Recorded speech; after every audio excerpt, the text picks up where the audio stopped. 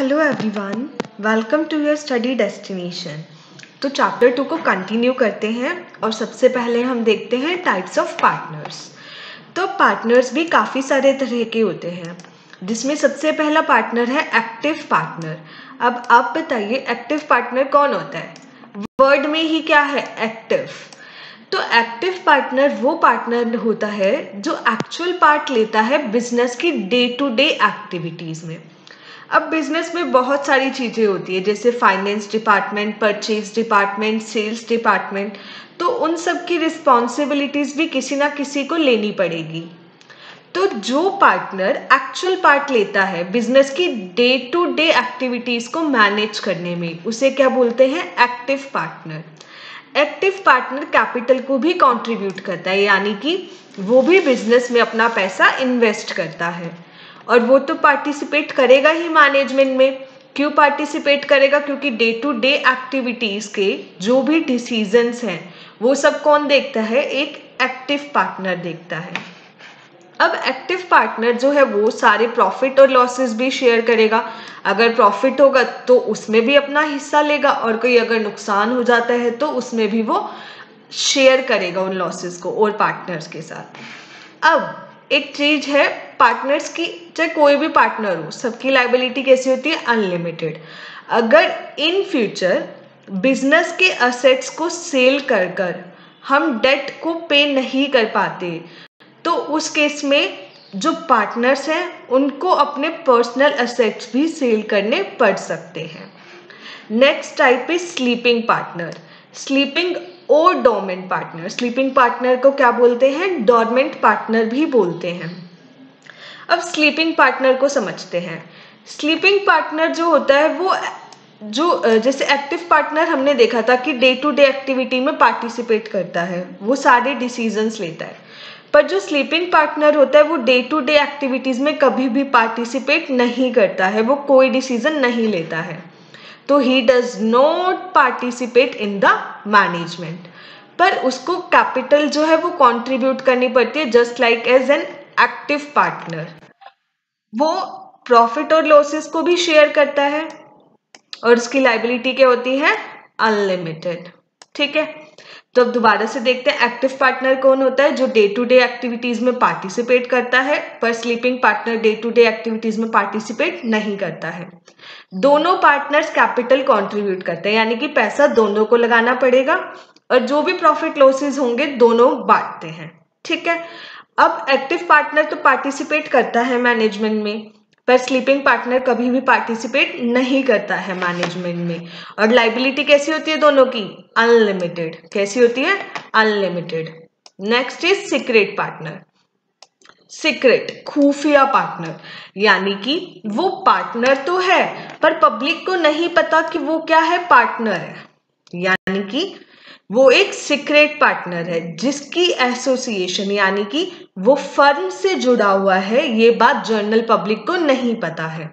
वो क्या करता है? कैपिटल इन्वेस्ट करता है प्रॉफिट लॉसेस को बांटता है, ठीक है? और उसकी लाइबिलिटी भी कैसी होती है? अनलिमिटेड ठीक है?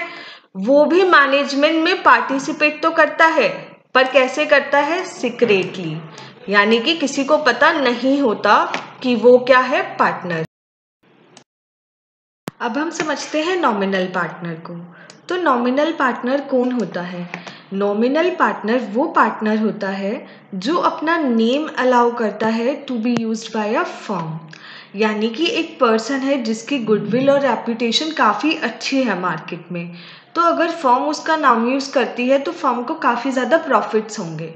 तो नॉमिनल पार्टनर, एक वो पार्टनर होता है, जो अलाउ करता है use of his her name by a firm. ना ही तो वो कैपिटल कंट्रीब्यूट करता है बिज़नेस में। अब एक पर्सन जो कैपिटल कंट्रीब्यूट नहीं कर रहा है तो वो क्या प्रॉफिट और लॉसेस को शेयर करेगा? नो। no. और ना ही वो पार्टिसिपेट करता है मैनेजमेंट की एक्टिविटीज़ में, यानी कि डे टू डे एक्टिविटीज़ में उसका कोई रोल नहीं होता। ना ही वो कैपिटल कंट्रीब्यूट करता, ना ही वो प्रॉफिट और लॉसेस को शेयर करता। बस वो अलाउ करता है फॉर्म को कि वो उसका नाम यूज़ कर सकते हैं। पर उसकी लाइबिलिटी भी कैसी होती है? अनलिमिटेड कैसी लाइबिलिटी होती है उसकी? अनलिमिटेड अब नॉमिनल पार्टनर के दो टाइप्स होते हैं। एक तो होता है पार्टनर बाय ईस्टोपल और एक होता है पार्टनर बाय होल्डिंग आउट ठीक है? अब इन दोनों को अच्छे से समझते हैं। सबसे पहले पार्टनर बाय ईस्टोपल अब हम इसके लिए एक एग्ज़ाम्पल लेते हैं।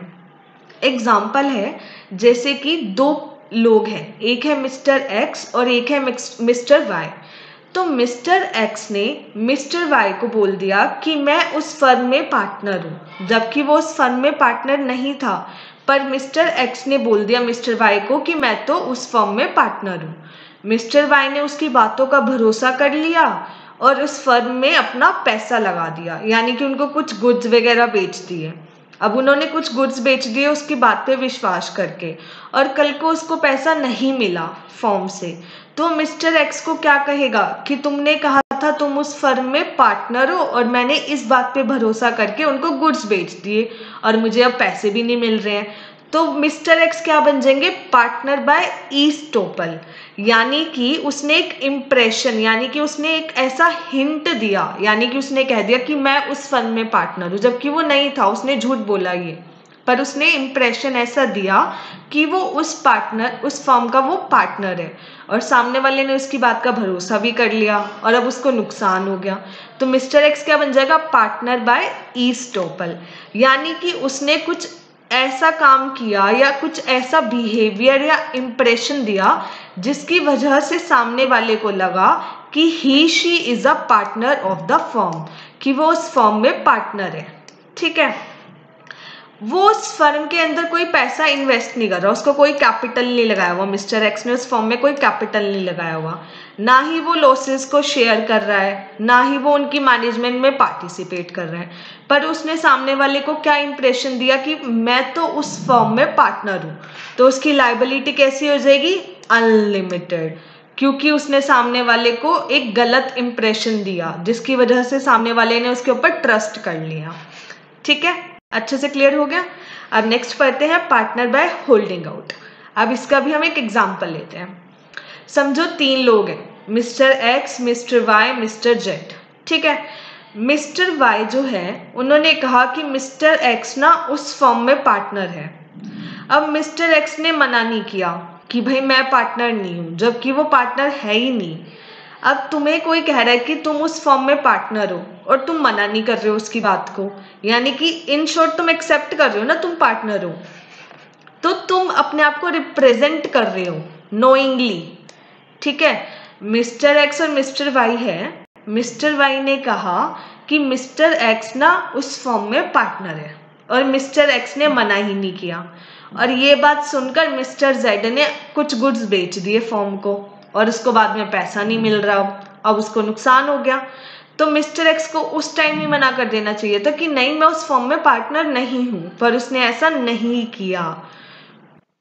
Person who though is not a partner in a firm but but knowingly allows himself, herself to be represented as a partner in the firm यानी कि उन्हें पता है कि वो पार्टनर नहीं है, पर वो फिर भी खुद को रिप्रेजेंट कर रहे हैं नोइंगली कि हाँ मैं पार्टनर हूँ। यानी कि अगर तुम्हें कोई कह रहे तुम उस फॉर्म में पार्टनर हो तो तुम्हें अगर नहीं हो तो मना करना चाहिए ना। पर उस पर्सन ने मना नहीं किया कि मैं पार्टनर नहीं हूँ तो वो क्या हो जाएगा? पार्टनर बाय होल्डिंग आउट वो भी कोई कैपिटल कंट्रीब्यूट नहीं करता, ना ही वो कोई लॉसेस वगैरह को शेयर करता है। ठीक है? ना ही वो पार्टिसिपेट करता है मैनेजमेंट में, पर उसकी लाइबिलिटी भी क्या हो जाएगी? अनलिमिटेड क्यों? अगर तुम्हें कोई कह रहा है तुम उस फॉर्म में पार्टनर हो और तुम नहीं हो और फिर भी मना नहीं कर रहे हो तो तुम्हारी लाइबिलिटी कैसी हो जाएगी? अनलिमिटेड तो नॉमिनल पार्टनर कैसे होते हैं? Partner by estoppel partner by holding out estoppel का क्या मतलब हुआ कि तुमने कुछ हिंट दिया या फिर तुमने खुद से झूठ बोल दिया कि मैं उस फर्म में पार्टनर हूँ। और पार्टनर बाय होल्डिंग आउट यानी कि तुम्हें कोई कह रहा है, तुम पार्टनर हो और तुम फिर भी मना नहीं कर रहे हो कि मैं पार्टनर हूँ। तो ये दोनों क्या होंगे? इनकी लाइबिलिटी कैसी होती है? Unlimited thanks for watching and if you like my work then please do like share and subscribe my channel thanks for watching